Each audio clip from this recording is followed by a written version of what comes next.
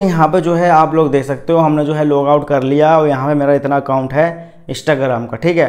अब आपको पता क्या करना है? साइन अप पे नहीं करना है, ठीक है? साइन अप का मतलब होता है न्यू अकाउंट बनाना, ठीक है? स्पीच अकाउंट पे क्लिक कर देना सिंपली से। तो यहाँ पे हम कर देते हैं स्पीच अकाउंट पे क्लिक ठीक है? और सिंपली से दोस्तों जो है आप लोगों को मान लीजिए आपका पासपोर्ट भूल गया, आपको नहीं पता है, ठीक है? एक यहाँ पे ऑप्शन आ रहा है forget your log in detail ठीक है?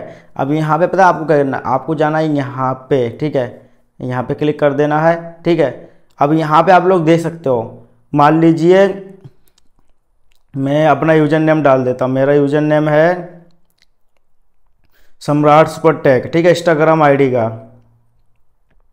तो यहाँ पे डाल दिया हमने यूज़र नेम और सिंपली दोस्तों आप लोग देख सकते हो। ये मेरा देखो जैसे कि लॉगिन हो चुका है ठीक है? ये अब इंस्टाग्राम का ऐसा अपडेट आ चुका है ना अगर आपके मोबाइल में ठीक है? अगर, अगर आपके फ़ोन में इंस्टाग्राम जो है, जिस, जो भी अकाउंट्स में नंबर लगा होगा, अगर मान लीजिए आपके मोबाइल में दो सिम पड़ा हुआ है, दोनों सिम से जो है आपका इंस्टाग्राम अकाउंट आप लोगों ने बना रखा है, ठीक है?